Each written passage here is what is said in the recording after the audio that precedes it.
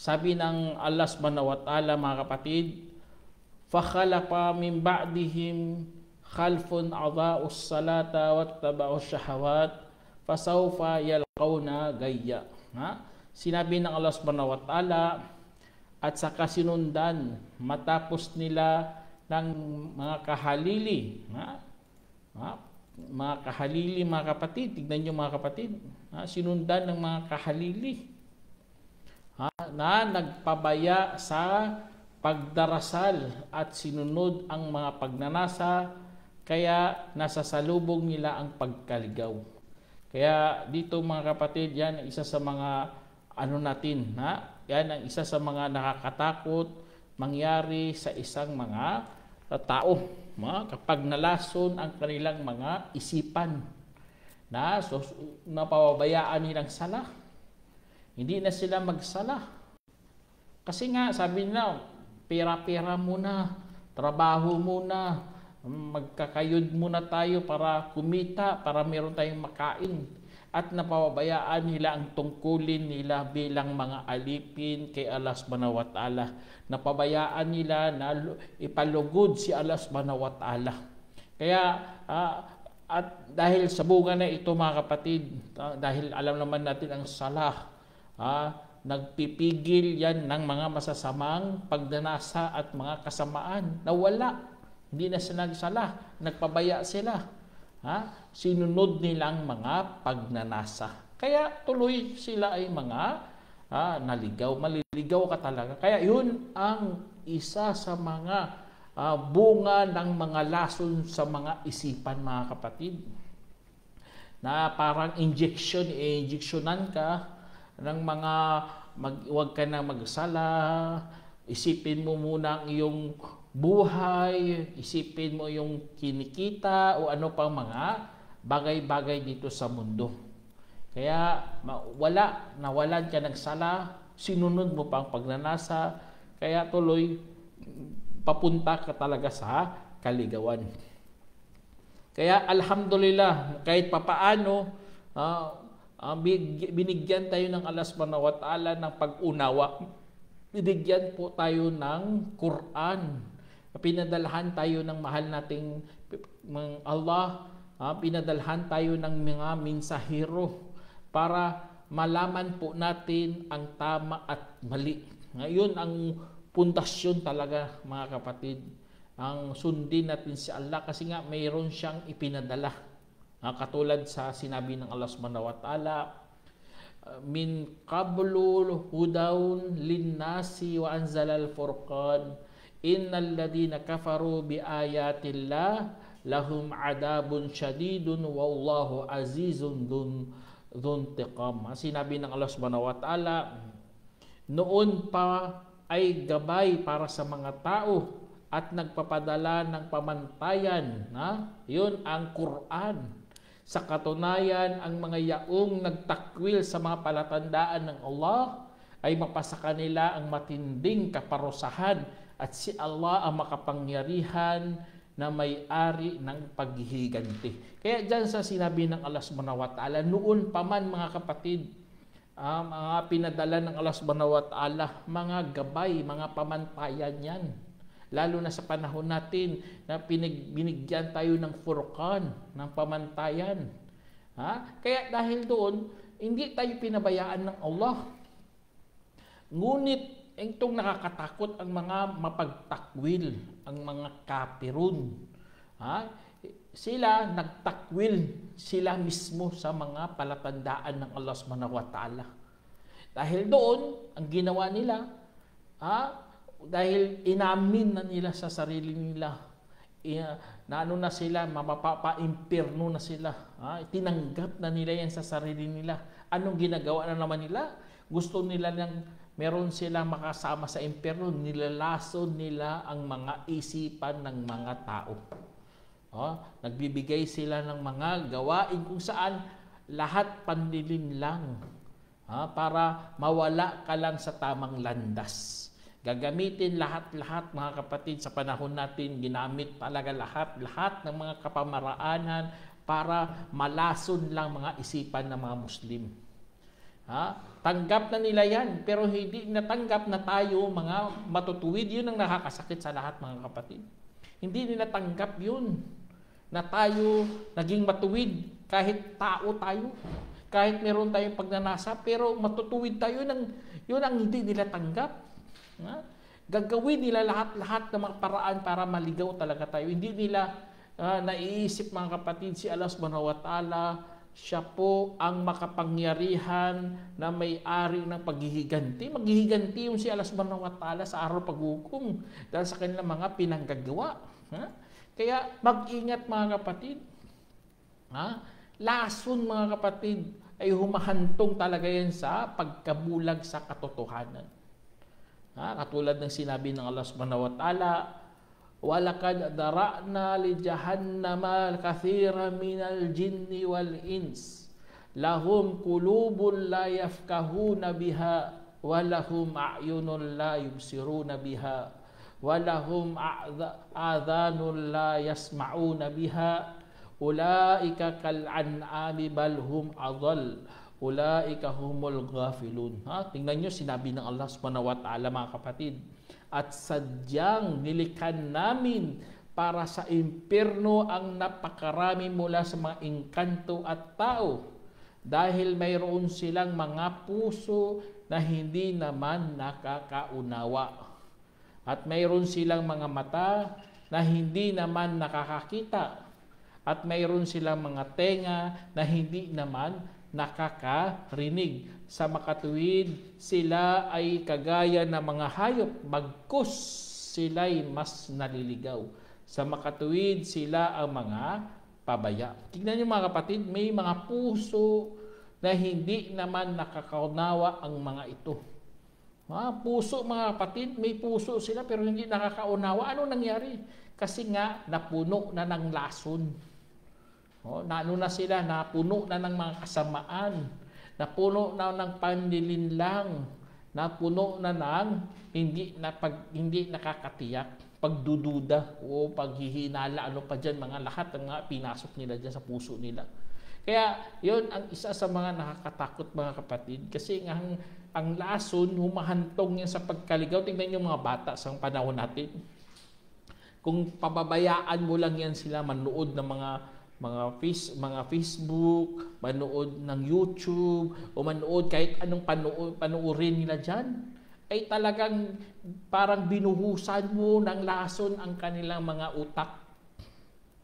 Ha? Dahil doon, hindi na sila marunong kumilala kay Allah subhanahu wa ta'ala. Akala nila ang buhay ay fantasy. Akala nila ang buhay ay puno ng romansa ang kakala nila, ang buhay puno ng mga komedi. Kaya audible, hindi na kasi marunong uh, mag-adapt sa totoong nangyayari sa mundo. O yun ang ganun ang nangyari sa buhay sa mundo mga kapatid. Kaya mga ano, kaya ang mga kapir nga eh. Tingnan nyo mga kapir eh. Sinabihan talaga sila ng Allah na meron silang mga puso, ngunit hindi naman nakakaunawa ang mga ito. Huh? Ganun ang description ng Allah subhanahu wa ta'ala. Kaya tumatalab talagang lason mga kapatid ng paunti-unti sa isipan, sa mga katawan, sa mga paniniwala na hindi namamalayan ng mga karamihan. Hindi mo namamalayan mga kapatid. Karamihan hindi namamalayan sa mga pinanggagawa nila. Kaya yun ang nakakatakot. Ha? Ang tao lumalakad, akala mo okay lang, hindi pala.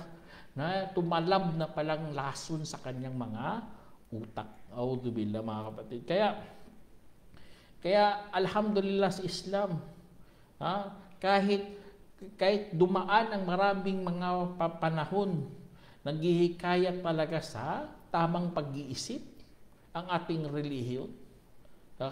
Katulad ng uh, katulad ng sinabi ng Allah, Walladhi khalaqakum min turab, thumma min nutfatin, thumma min alakatin, thumma yukhrijukum tifla, thumma litabalugu ashaddakum, thumma liyakunu syukha.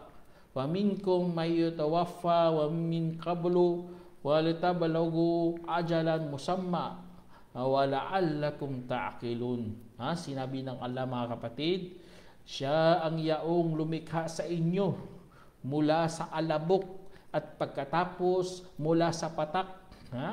At pagkatapos mula sa kumakapit at pagkatapos pinalabas niya kayo bilang mga sanggol at pagkatapos upang aabot kayo sa inyong kalakasan at pagkatapos ay magiging mga matatanda at ang ilan sa inyo ay namamatay bago pa ito at, at para maabot para aabot kayo sa itinakdang palugit at baka sakali kayo'y makakaunawa. Tingnan niyo mga kapatid, ang buhay ganun. Pinapadaan tayo sa ganun. Noong bata ka pa, naging binata ka na, o maging dalaga ka na, ha, hanggang nagiging nasa kagitnaan ka ng iyong edad, hanggang tatanda ka. Ha, pinapaisip tayo ng Allah subhanahu wa ta'ala, baka sakali kayo'y makakaunawa. Anong unawain natin? Unawain natin na tayo mga alipin ng Allah subhanahu wa ta'ala, na tayo kailangan magsamba, na ang buhay ay mayroong layunin na pinagkaloob ng Allah subhanahu wa ta'ala. Ha? Allahu Akbar. Kaya, uh, kaya alhamdulillah, uh, papuri kay Allah subhanahu wa ta'ala. Ano tayo, uh, natuto tayo na uh, walang batas o katuruan Tingnan niyo mga, bata, mga kapatid, walang batas, walang katuruan sa Islam na kumukontra sa tamang kaisipan ng tao. Yun ang pinaka pinagmamalaki natin mga kapatid. Na, ay, ang, ang batas ng Islam, ang mga paniniwala ng Islam, hindi sumusulungat sa kaisipan, sa tamang kaisipan ng mga tao. Ha? Bagkus, uh, patunay talaga ito na ito ay galing sa nakakabatid ng buhay. O ibig sabihin, mula sa tagapaglikha mismo. Kaya itong pinagmamalaki natin na bilang mga Muslim tayo. Kaya huwag na huwag niyong layo, lasunin ang mga utak natin mga kapatid. Huwag nating lagyan ng mga lason na nakakasira ng tamang pag-iisip kaya uh, katulad ng sinabi ng Allah subhanahu wa ta'ala mga kapatid, sabi niya, Ya ayyuhar rasul, ya ayyuhar rusul, kulu minat tayyibati wa'malu saliha, inni bima ta'maluna alim. Ha, sinabi ng Allah, O mga mensahero, kumain kayo mula sa mga malilinis at gumawa ng mabubuti. Sa katunayan, ako ang maalam sa inyong mga ginagawa. Allah Akbar, tingnan niyo pagkasabi ng Allah dito mga kapatid. Ang inuna niya kumain ng mga malilinis at gumawa ng mabubuti. Ha? Tama talaga eh. Kasi nga, kapag kumain ka ng mga haram, kumain ka ng mga baboy, uminom ka ng mga alak, o subhanallah, utak mo masisira talaga, hindi ka makapag-isip ng maayos. Ha? Ang iniisip mo lang makamundong bagay. Iniisip mo uh, paano ka kikita ngayon. Iniisip ano lulutuin ko ngayon. Wala nang dhikrullah. Wala ka ng uh, bismillah. Wala ka ng audubillah. Hindi mo na maalala si Allah kasi nga lahat makamundo lang ang iniisip. Kaya inutusan mo na ang mga mensahero. At alam naman natin kapag inutusan ang mga mensahero, parang inutusan na rin ang kanyang mga pamamayanan. Ha? Ang mga nasyon ng mga propeta. Kaya inutusan sila na ganun, na gumawa ng kabutihan. Bago yan, kumain muna ng mga malilinis. Allahu Akbar. Ha? Kaya tignan nyo mga kapatid, sa panahon natin, ha? Ah, ang lason napakatindi. Ha? Biro mo mga kapatid, ang pagdidisiplina sa mga anak o kaya mga mangangaral ay itinuturing krimen sa ating panahon, subhanallah. Ha? Pinalo lang, sinumbong, magulang nagpalo sa mga anak, sinumbong sa bantay bata. Tapos kinulong pang magulang, subhanallah, napaka sakit marinig na gano'n ang mangyari. Alam mo naman kapatid, basta magulang, magpalo yan, hindi naman yan sobra-sobra, hindi naman matindi. Ibang, ibang kwento yun kung sinubrahan kasi krimen talaga yun. Pero karamihan sa mga magulang mga kapatid, kapag sila magdidisiplina, ha, Magpalo man yan, pero ramdam niya rin ang sakit sa kanyang kalooban. Bakit niya pinalo ang kanyang mga anak? Ganun ang mag-iisip ang tama. Pero ngayon nilason ang mga utak ng mga tao na ang pagdidisiplina naging krimen sa ating panahon. Audible. Kaya yun ang ano mga kapatid, sana hindi tayo naging biktima ha, sa mga laso na yan. Kasi nga, nagpapahina yan ng pagkatao natin. Nagpapahina yan ng ating dignidad. Tingnan nyo, karamihan nawala na ng dignidad.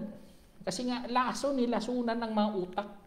Hindi na nakapag-isip ng maayos. Nilalad na lang lahat-lahat.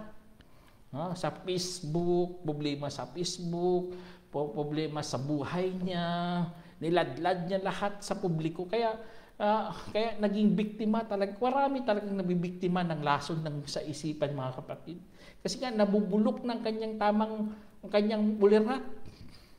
Ha, na, nabulok ng kanyang tamang pag-iisip Ha? Naging mahina na ang kanyang pagkatao. Kasi nga napuno nga ng laso ng isip audible.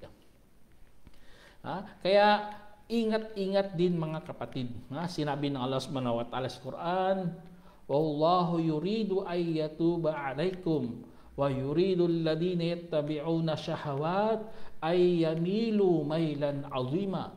Yuridu Allahu ay yukhaffifa 'ankum Wa khuliqal insanu da'ifa. Ah, sinabi ng Allah Subhanahu wa Ta'ala mga kapatid, at gugustuhin ng Allah na tatanggapin ang pagbabalik loob sa inyo habang gugustuhin ng ngayaong sumusunod sa mga pagdanasa na malilihis rin kayo ng matinding pagkalihis.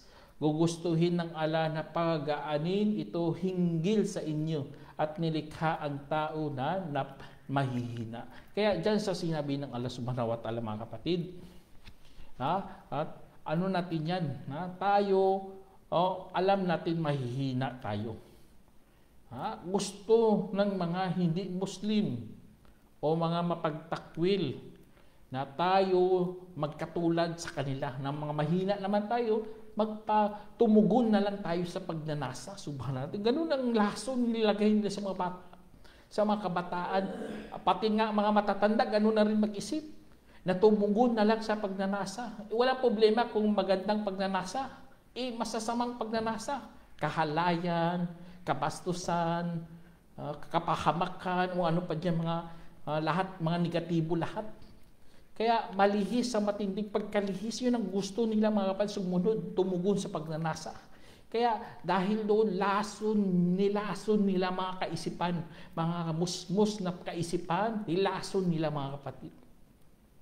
At, at wala namang problema kapag gumawa ka ng mabuti. Tinugon mo pagnanasa sa kabutihan. Wala namang problema yun. Kasi nga gusto ng alas manawatala tayo patawarin pero mga pagnanasa ng mga masasama, yun ang gusto ng mga mapagtakwil, eh, mga kampon yun sila ng mga satanas. Kampun ng satanas yun. Kaya wag na wag kang sumunod sa kanila kasi nga ang yapak nila patungo sa impyernong apoy. Audubillah. At ito, isa sa mga pinakamatinding hadith mga kapatid na eh, an Abi Mas'ud, kala Nabi SAW, Inna mimma adrakan naso min kalamin nubuwa, ida lam tastahi, fasna bi ma Ha, sinabi sa hadith na inulat ni Abu Mas'ud, radiyallahu anhu na sinabi ng propeta Muhammad salam katotohanan mula sa mga naabutan ng mga tao mula sa salita ng propesiya kapag wala kang hiya kung gayon ay gawin mo ang iyong nais. Isinalaysay ni Bukhari. Tingnan nyo, kung wala kang hiya, itong balita na ito mga kapatid, panlalait to. Ha? Nilalait ang mga walang hiya. Hindi ito pagbabalita na ibig sabihin, pwede mo na gawin. Hindi. Ha? Pero mga tingnan nyo mga walang hiya, hindi tanggap sa sarili nila na meron pala silang dignidad. Tingnan nyo, sasayaw ka doon sa loob ng bahay, sambahan. Subhanallah. Anong klase pag-iisip yun? Hindi mo tanggap sa sarili mo na meron kang dignidad. O kaya hindi tanggap sa sarili niya na siya ay lalaki. Gusto niya binabae o dubila. Hindi mo tanggap yan. O kaya uh, babae siya, pero hindi niya tanggap. Kaya tama talaga to kung wala kang hiya, gawin mong yung uh, gawin mong nais mo. Ibig sabihin, walang hiya ka talaga kung ganun. Kaya humahantong talaga sa kawalan ng dangal. Yun ang laso nilalagay nila sa mga kaisipan ng mga ka tao ngayon na kailangan mawalang hiya mo para gawin mo ang iyong nais. Audible. Ya? Pati sa mga uh, sa loob ng mga pamamahay, ganun ang ano nila kailangan ang mga kabataan maging independent independence na. No? Tumayo na sarili nilang mga paa Ha? Ayun, audible. Anong, anong mga ano yung mga kapatid? Tayo, alhamdulillah, kahit papaano, hinahawakan natin ang Islam. At isa sa mga nagpapa, uh, nagbibigay lason sa mga kaisipan, mga kapatid, na nilalason ang katwiran ha, sa tamang pag-iisip. Katulad sa hadith na dito na an Ummi Salama qal nahan nahan Rasulullah SAW an kulli muskirin wa muftirinas. Ma mayroong isang ano dito sa hadith mga kapatid na hinulat ni Ummu Salama ha? Na ibinagbawal ni Propeta Muhammad salam ang lahat ng nakakalasing ha? Lahat ng nakakalasing mga kapatid. Bawal yan ha? Alam naman natin yan. Kasi nga tingnan yung mga mga lasinggo oh no, nagsasalita na hindi niya alam kinabukasan. O anong klaseng tao yan kaya kapag kapag umiinom ka ng alak mga kapatid parang nilulunod mo ang iyong utak nilulunod mo ang iyong ulirat nilulunod mo ang iyong katwiran wala hindi ka talaga makapag-isip ng maayos kaya tama talaga sa, sa hadith ni Prophet Muhammad Salam Ma askara kathiruhu fakaliluhu haram. Ha? Ana inulat ni Jabir bin Abdullah radhiyallahu anhu na sinabi ng propeta Muhammad SAW ang anumang nakakalasing na marami kung gayon ang kaunti nito ay bawal isinalaysay ni Abu Dawud at ginawang Hasan ni Albani. Kaya tama talaga sa Islam mga kapatid. Kahit kaunti lang yan. Ang iba kasi magpapalusot lang. Eh. Sasabihin niya na, uh, hindi naman kami naglasing. Uminom lang kami, audible. Kaya sa Islam, napakalinaw. Kahit kakaunti, basta haram ang marami, bawal yan. Alak, kahit anong palusot dyan. Kasi nga ang dahilan dyan, nilulunod mo nga, nilulutang mong utak mo. Hindi ka makapag-isip ng maayos Ibig sabihin, lason talaga. Ha? Kung gusto, ang iba gusto magbagong buhay, gusto nilang baguhin ang kanilang nasanayan, ang kanilang kinagawian, wala problema yung kapatid. Pero kung, kung ikaw ha, umiinom ng alak, hindi mo talaga mabago-bago ang buhay mo. Hindi mo talaga mabago-bago ang iyong nasanayan. Kaya sumunod lang tayo sa kautusan ni Allah subhanahu wa ta'ala ha? para lahat ng problema mga kapatid ha? ay maging magaan. Ha? Kaya yan isa sa mga uh, turo ng Allah subhanahu wa ta'ala. Tapos kapag ito pa mga kapatid, na, isa sa mga lason din sa kapanahunan natin mga kapatid, kapag kinukumpara mo ang iyong sarili sa iba. Ha? Tingnan nyo, kinukumpara mo ang sarili mo sa iba, ay talagang Lason yun. Alam naman natin, bawal na bawal na gawin natin yan. Ay, sample lang. Katulad dito sa hadith ni Prophet Muhammad Salam. An Abi Hurairah radhiyallahu anhu, qala Rasulullah salam, "Unduru ila man asfala minkum wala tanduru ila man huwa fawqakum."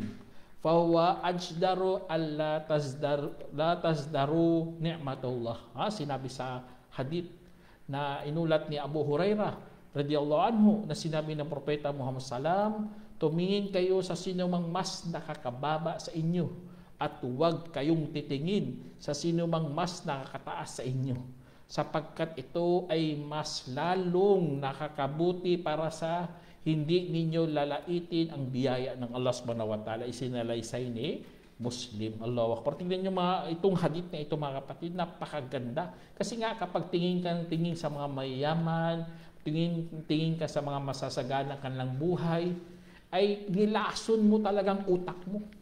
Gusto mo rin ganun. Kaya ang nangyari, naiinggit ka. Ha? Nakikita natin to sa mga bata eh. Ganun, mga, mga ibang bata, inggit na inggit sa kanilang mga kaibigan kasi mayaman, kasi kaya may mga trabaho kanilang mga magulang.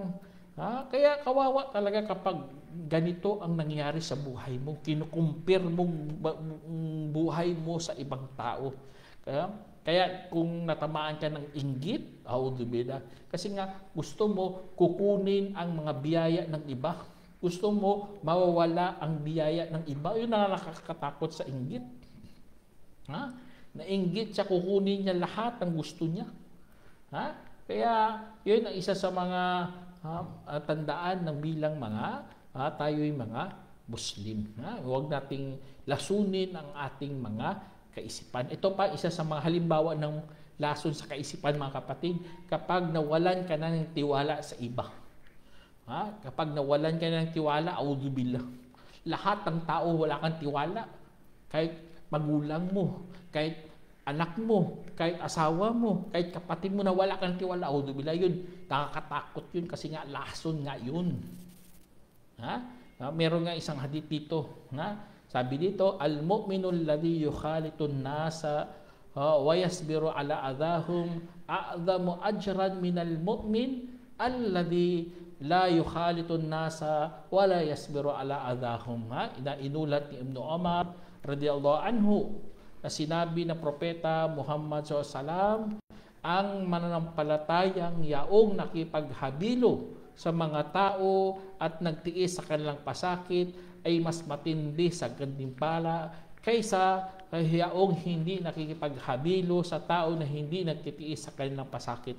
Isinalaysay ni Majah at itinama ni Albani. Kaya sa hadith na yan mga kapatid, yun, wala kapag ganun ginawa mo, Allahu Akbar, may pala ka pa kay Allah. Pero kung nilason mo utak mo, ha, hindi ka nang nagtitiwala sa iba, billah. Ha, parang ikaw na lang tao sa mundo. Sino na lang pagkakatiwalaan mo? Ha? Kaya ano talaga, ingat talaga sa mga ganitong mga lason kasi nga nakakasira yan ng utak.